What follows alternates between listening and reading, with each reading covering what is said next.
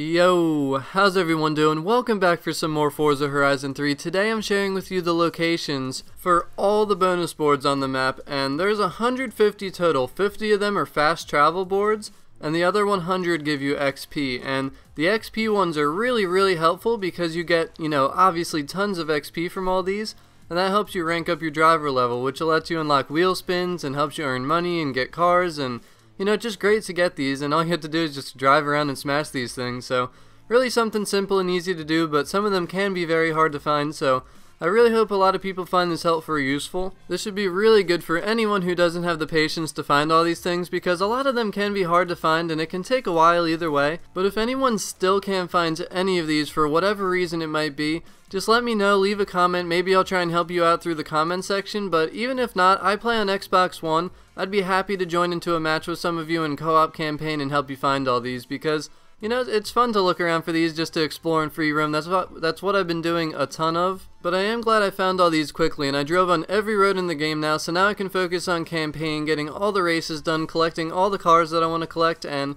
just completely 100% enjoying the game because it's an amazing game. But again, if you have any questions about finding any of them at all, just let me know in the comments section. As always, thank you very much for watching, and I'll talk to you all again very soon. Peace out.